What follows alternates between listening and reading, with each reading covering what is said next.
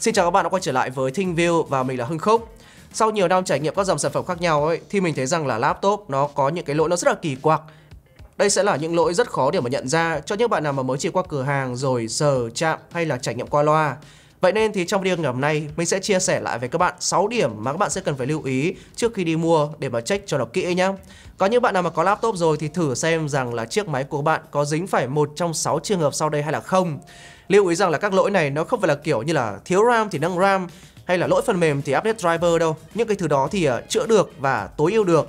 Có những điều mà mình chia sẻ trong video ngày hôm nay nó sẽ xoay quanh những cái vấn đề của phần cứng. Nên là nếu như bạn dính phải thì sẽ phải sống chung với lũ luôn.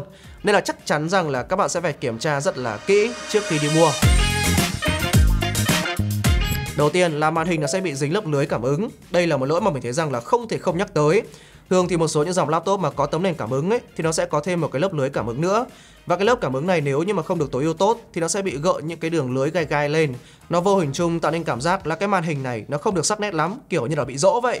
Vậy nên là dù nhiều tấm nền màn hình có thông số độ phân giải lên tới được gần 3K, đáng lý là nó sẽ phải cực kỳ là sắc nét đúng không ạ? Nhưng mà trải nghiệm thực tế thì nó vẫn sẽ hơi hơi bị rỗ. Đang nói là các dòng laptop mà bị cái lớp lưới cảm ứng này thì vẫn còn đang rất là nhiều trên thị trường hiện nay. Nên là nếu như bạn nào mà đi mua laptop mà có màn hình cảm ứng thì nên lưu ý tới cái vấn đề này nhé. Thứ hai là trackpad haptic ở trên Windows nó vẫn chưa ngon và đó chính là lý do vì sao mà cái loại trackpad này nó vẫn chưa phổ biến ở trên laptop Windows. Như các bạn đều biết thì trackpad haptic nó sẽ có phản hồi dung từ phía bên dưới lên và mỗi lần các bạn bấm xuống ấy thì cái phản hồi dung này nó sẽ giả lập lại cái thao tác vật lý bấm xuống đó. Từ đó các bạn có thể bấm vào bất kỳ vị trí nào ở trên cái trackpad và Apple đã làm được điều này cực kỳ cực kỳ tốt với cả những chiếc MacBook của mình. Tuy nhiên thì ở trên laptop Windows ấy mình thấy rằng là chúng mới làm được cái đoạn rung, tức là cái phản hồi rung từ phía bên dưới lên ấy, nó rất là đầm chắc và mạnh còn khả năng checking thì nó vẫn chưa có mức độ chính xác tuyệt đối, nó vẫn có mức độ delay nhẹ nhẹ nhẹ nhẹ. Nên là các bạn đi mua laptop Windows mà có cái dạng checkpad haptic ấy thì trải nghiệm nhiều khi nó cũng không sướng lắm đâu nhá. Duy chỉ có chiếc Surface laptop của Microsoft ấy thì mình thấy rằng là nó có cái checkpad haptic ở mức là tốt và ít độ trễ nhất. Ít thôi nhá, chứ nó vẫn có một chút. Còn lại thì những sản phẩm như là Dell XPS hay là LG Gram ấy, nó cũng chưa sướng lắm đâu.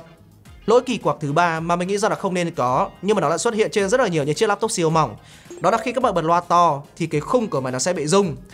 Điển hình nhất ở đây là chiếc Dell XPS, một chiếc máy nó quá là mỏng và nếu như các bạn bật trên mức là 60% thì máy nó đã bị rung rồi. Vậy nên là từ bây giờ các bạn đi mua laptop mỏng nhẹ thì cứ bật loa to hết cỡ và gõ phím để mà xem rằng là cái trải nghiệm nó có tốt hay là không nhá. Lỗi thứ tư liên quan tới cổng HDMI. Đây là cổng vật lý chuyên để mà xuất hình ảnh, nhưng mà bên trong nó lại có những giao thức khác nhau và xuất được những cái loại màn hình khác nhau.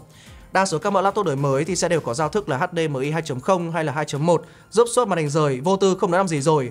À, nhưng mà cái vấn đề ở đây là một số những dòng laptop lại sử dụng giao thức là HDMI 1.4. Vậy nên thì khi các bạn xuất ra màn hình rời 4K thì nó sẽ bị giới hạn ở tần số quét là 30Hz mà thôi. Vâng, là 30Hz nha các bạn và dùng nó rất là khó chịu luôn. Nói đâu xa chính là chiếc Lenovo Slim Pro 9i mà mình mới chia sẻ với các bạn. Nó mới ra mắt năm ngoái và cũng là một dòng sản phẩm đắt tiền của Lenovo, vậy mà không có nổi một cái cổng HDMI tử tế. May là chiếc máy đó nó còn có cổng Type-C Thunderbolt bù lại, chứ một số những dòng laptop gaming phổ thông sẽ chỉ có HDMI, mà lại là HDMI 1.4 nữa thì ẩu quá là ẩu luôn. Còn nếu như các bạn muốn biết là chuẩn kết nối nào xuất được ra màn hình như thế nào ấy thì có thể xem lại video mà mình giải thích về cổng HDMI và DisplayPort nha. Lỗi kỳ quặc thứ năm cũng xoay quanh cổng kết nối, đó là những cổng kết nối xuất hình ảnh như là HDMI hay là Type-C, chúng không được kết nối với cả cả họa rời mà lại kết nối với cả cả tích hợp. Thành ra là khi các bạn xuất ra màn hình rời thì cái màn hình rời đó lại đang bị gánh bởi cái card họa tích hợp. Như vậy là các tích hợp nó vừa phải gánh cái màn hình ở trên laptop, vừa phải gánh thêm một cái màn hình rời nữa. Hậu quả là hiệu năng cho ra của máy nó sẽ bị ảnh hưởng. Cho dù hiệu năng của bên trong máy nó có cho ra 300 đến 400 FPS khi mà chơi game, nhưng mà cái card đồ họa tích hợp nó cũng sẽ không đủ khỏe để mà xuất toàn bộ cái đám khung hình đó lên màn hình hiển thị trong vòng một giây để các bạn có thể là nhìn thấy được. Hậu quả thứ hai là độ phân giải và tần số quét cho ra nó cũng sẽ bị giới hạn ở mức thấp hơn và không tận dụng được hết cái giao thức của cổng kết nối nha.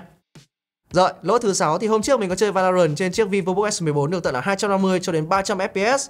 Một chiếc Ultrabook nó rất là mỏng nhẹ, vậy mà FPS nó lên rất là căng. Trong video đó thì có một số anh em hỏi mình rằng là tại sao laptop của anh em là laptop gaming có các rơi hẳn hoi, nhưng mà khi mà chơi Valorant thì FPS không lên được mức là 200. Thì ở đó là do máy của các bạn không có công nghệ Must Switch hay là Nvidia Advanced Optimus. Đây là công nghệ giúp cho máy tính sử dụng card họa rời để mà xuất luôn hình ảnh lên trên màn hình thay vì card họa tích hợp. Bản chất thì cũng do cái card tích hợp của một số những dòng laptop gaming đời trước, nó không đủ tiêu chuẩn để mà xuất cùng một lúc từ 200 đến 300 khung hình trong vòng một giây, nên là cái card đồ họa tích hợp nó sẽ gây ra hiện tượng bị nghẽn cổ chai và FPS của các bạn nó sẽ bị giới hạn ở mức chỉ vào khoảng là dưới 200 mà thôi. hiện tượng này bây giờ đã được giải quyết trên các dòng laptop đời mới rồi. Đây ví dụ như là chiếc Vivo S14 mà mình đang chơi thì cái card tích hợp của nó là em Radeon 890M cơ. Nó mạnh gần ngang so với cả card họa rời luôn rồi. Nên là FPS của nó được đẩy lên rất là cao, lên đến là 250 cho đến 300 luôn. Và nếu như các bạn muốn biết thêm về Nvidia Optimus, must Switch hay là Nvidia Advanced Optimus là gì ý, thì có thể xem lại video mà mình hướng dẫn cách chọn mua laptop gaming 2023 ở phút thứ 9 nha. Bổ sung thêm lỗi cuối cùng đó là màn hình xanh. Đây là một cái lỗi mà mình thấy rằng là khó hiểu nhất của đất luôn. Buồn một nỗi là có đến cả chục nguyên nhân khác nhau khiến cho laptop của các bạn bị xanh màn.